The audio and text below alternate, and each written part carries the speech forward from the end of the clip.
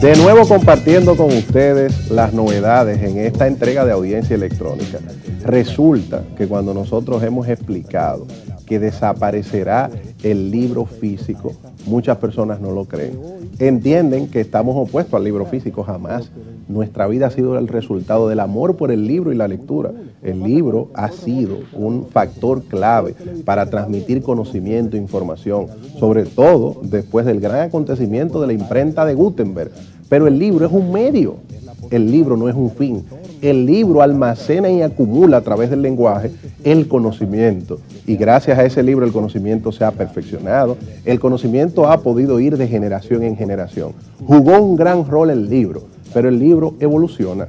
No es que desaparece como concepto, sino que el libro físico de papel al que nosotros estamos acostumbrados es sustituido por el libro electrónico. Lógicamente, eso no va a pasar mañana eso va a pasar como resultado de una evolución histórica que estamos viendo en pantalla. Eso que ustedes ven, las primeras manifestaciones del libro sobre arcilla, escribir y dejar plasmado el conocimiento, era el primer medio la arcilla. Anterior a la arcilla la cueva, después de la arcilla el papiro. Miren cómo usted lograba, después que se desarrolló el lenguaje, después que desarrollamos una forma de comunicar, un idioma, un lenguaje, lo plasmábamos en papiro. Comenzó a surgir el papel y el papel primero se utilizaba en ese tipo de rollo especial y ahí era que se plasmaban informaciones, conocimiento, arte.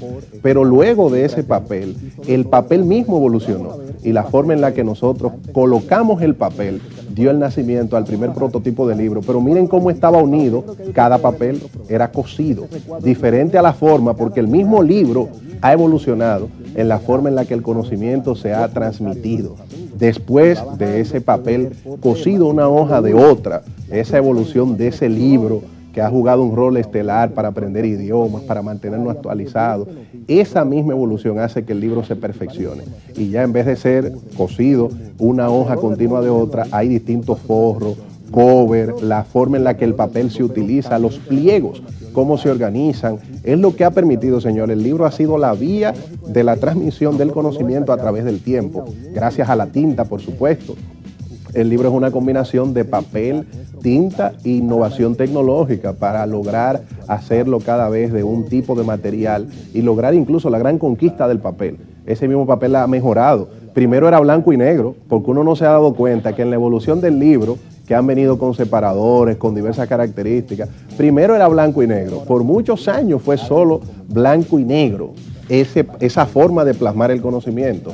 Luego es que nosotros vemos que podemos tener en estos documentos imágenes y podemos tener gráficos más acabados. Miren ahí como en este ya libro, todo eso que ustedes están viendo en imagen es la evolución de decenas de años. En decenas de años es que hemos logrado ya incorporar imagen, miren, ese libro primario a ese libro con fotos a color, a ese libro colorido, más fácil de aprovechar, más fácil de leer, es algo verdaderamente impresionante. Cómo el libro ha evolucionado y con él ha evolucionado la forma en la que transmitimos conocimiento. Pero ya el libro da un gran paso, da un paso rápido hasta convertirse en un ebook en un libro electrónico y eso es lo que vamos a ver. Después de todas esas evoluciones, la conversión de ese libro de papel a un libro electrónico en donde nosotros tenemos acceso a video, donde nosotros podemos tener la opción de que nos lean el conocimiento, esa capacidad de multimedia, mírenlo ahí, el nacimiento de los lectores de libros electrónicos y con él la desaparición del libro físico proyectado en el tiempo. No es mañana que va a suceder, pero dentro de 100, 200, 300, 1000 años desaparecerá el libro físico. Miren a Kindle de Amazon. Esos son los diversos prototipos de lectores de libros electrónicos que también están evolucionando.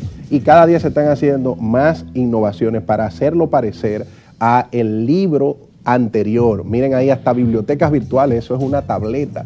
Y ahí usted tiene ya la forma en la que el conocimiento se va a transmitir, se va a transparentar, es con el libro electrónico. Ese video, señores, lo dice todo.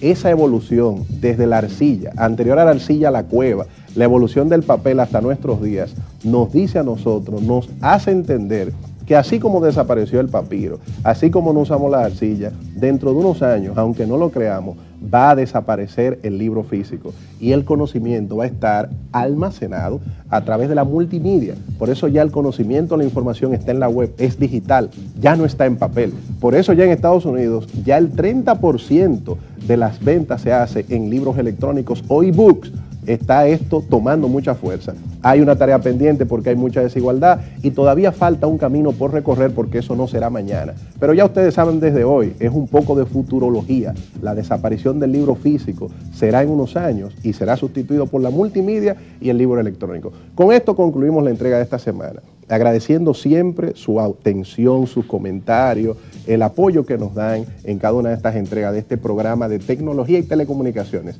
Nos estaremos reencontrando el próximo domingo a las 5.30 por OnTV. Los espero.